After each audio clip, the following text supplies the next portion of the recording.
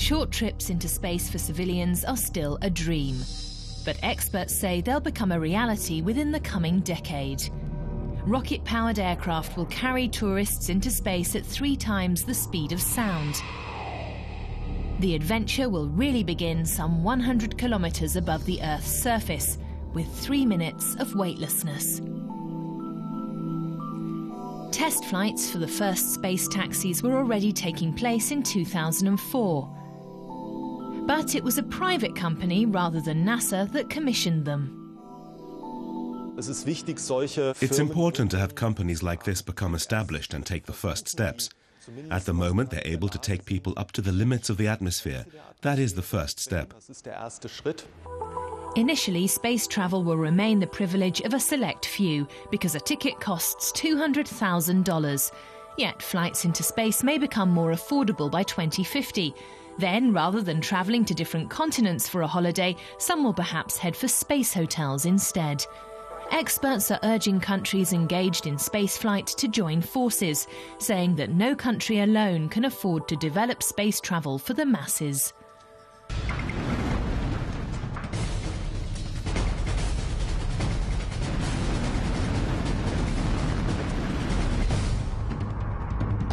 A lunar outpost should be as independent from Earth as possible. Researchers have already found that it has the necessary resources. Water can be used to produce oxygen and fuel.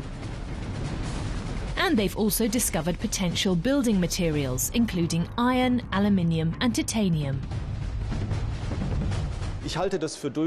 Everything is conceivable. I think there's no question this will happen.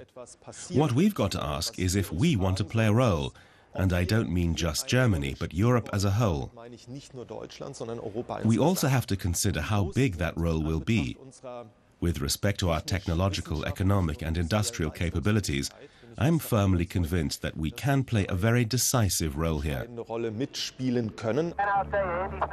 Engineers are already developing plans to set up solar energy parks on the moon's southern pole, where what's called the Peak of Eternal Light is located.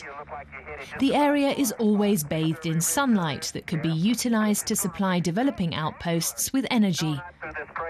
The Shackleton crater is around 100 kilometres away. It's a good potential site for telescopes because its walls would shield them from light and radiation and give astronomers an uninterrupted view of space. This is going to be spectacular. Engineers say that it's even possible to place power plants in lunar orbit. These satellites would be powered by sunlight and provide energy for robots. During the two week lunar nights, the robots could then extract helium 3, a fuel for future power plants on Earth, from the moon's bedrock at the equator. But for humans, the moon will be more than just a place to extract resources in the coming decades.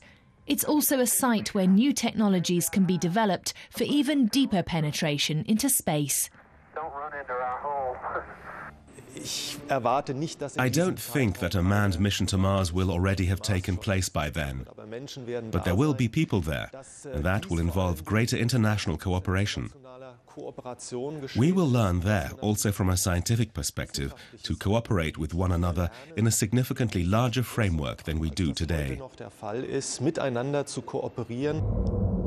Some experts estimate that the first humans will set foot on Mars by 2040 a nice day. Oh, funny, there's not a cloud in the sky. Perhaps by then, the age old question of whether there is life on the red planet will have finally been answered. But in the near future, plans to settle the red planet will continue to remain just a dream.